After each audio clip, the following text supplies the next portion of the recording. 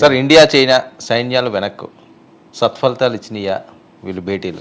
ఇది చాలా పెద్ద విషయం అండి. మన మీడియా ఇచ్చే రకరకాల పిక్చర్స్లో మీడియానే కాదు రెండు వేల ఇరవైలో మనమంతా కరోనాలో ఉన్నప్పుడు గల్వాన్ వ్యాలీలో ఉద్రిక్తతలు జరిగాయి. ఇండియా ఒక భారత సైనికులు కొంతమంది చనిపోయారు. అప్పటి నుంచి ఇంకా చైనా అంటే ఆ వార్త ఇంకా ఏమి దొరకకపోతే మన మీడియాలో రకరకాల ఇది ఇచ్చినట్టుగా చైనాకు మీద ఒక ఉద్రిక్తత భగ్గుమంది అది ఇది ఇలా చెప్పడం ఒకటి అయింది బట్ మీతో కూడా నేను చాలాసార్లు చెప్పాను చైనా ఇండియా బాధ్యత కలిగిన దేశాలు అంతిమంగా ఈ ప్రశాంతతను పునరుద్ధరించుకుంటే కానీ యుద్ధం దక్క చైనా ఇండియా మళ్ళీ యుద్ధం చేస్తే అది చాలా అరవై రెండులో ఏదో జరిగింది. అప్పటి నుంచి ఇప్పటి వరకు ఈ అరవై ఏళ్ళు అవి ప్రశాంతంగా ఉన్నాయి ఎన్ని మాట్లాడుకున్నా. పాకిస్తాన్కు ఇండియాకు ఉన్న పరిస్థితి చైనాకు ఇండియాకి ఎప్పుడు లేదు. భారతదేశంతో వ్యాపారం చేసే వాటిలో చైనా ఇస్ బిగ్గెస్ట్ ఇప్పటికి కూడా అమెరికాకు మనం దగ్గరగా ఉన్నామంటే కూడా. కానీ మన మధ్య గొడవ పెరిగితే ఇప్పుడు ఏదైనా ప్రయోజనం ఏమో అని ట్రంప్ హయాంలో ముఖ్యంగా ప్రయత్నం జరిగింది. తర్వాత అది ఇంకా కొనసాగింది.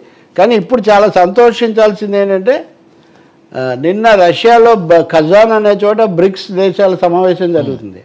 ఇంట్రెస్టింగ్లీ బ్రిక్స్ అంటే Brazil Russia China India South Africa. ఇది కాకుండా ఇప్పుడు సౌదీ అరేబియా ఇరాన్ కూడా దీంట్లో చేరుతున్నాయి. ఓకే. ఎందుకు చేరుతున్నాయంటే మీకు పశ్చిమాసియా యుద్ధం అక్కడ ఇజ్రాయెల్ చేస్తున్నటువంటి దాడులు ఇలాంటివి పెట్రోల్ మీద ఇతర వీటి మీద ప్రభావం ఇవన్నీ అయిన తర్వాత కొంచెం జాగ్రత్తగా ఉండాలి. అమెరికాలో మళ్ళీ ట్రంప్ వస్తే ఏం చేస్తాడో ఎప్పుడు ఎలా ఉంటుందో మనకు తెలియదు అని. కాబట్టి ఈ పరిస్థితుల్లో భారతదేశం కూడా గుర్తించి అటు చైనా కూడా గుర్తించి ఈ రెండు పెద్ద దేశాలు ముప్ యాభై ఒక్క రౌండ్లు చర్చలు జరిగాయి వర్మ. Fifty one rounds. బా.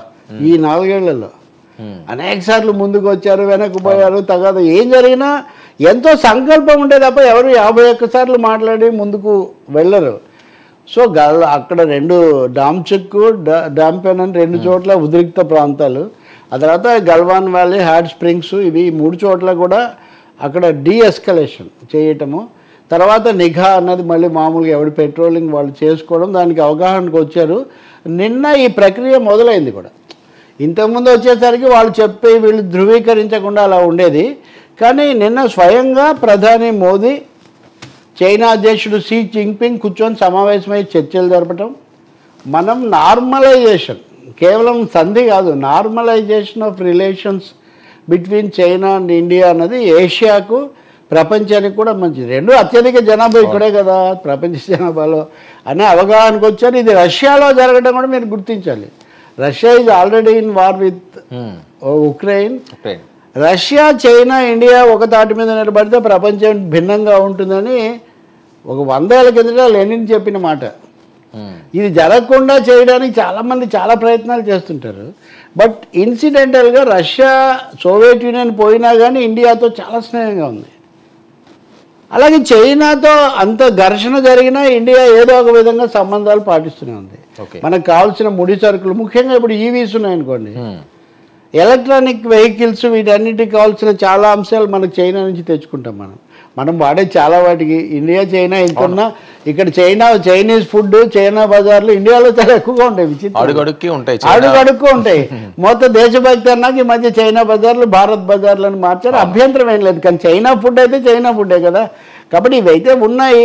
ఇది చాలా ప్రపంచానికి సంతోషకరమైన విషయం.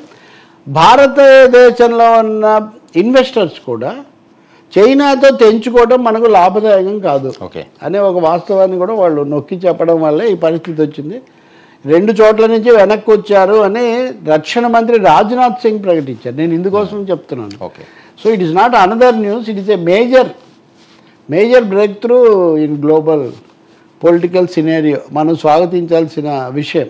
అలా చూస్తే ఇప్పుడు అమరావతి ఈ బౌద్ధ క్షేత్రాలు వీటికి సంబంధించి కూడా చైనాకున్న ఇంట్రెస్ట్ కూడా ఒకటి ఉంటుంది అప్పటి నుంచి ఉన్నాయి ఈ సంబంధాలు.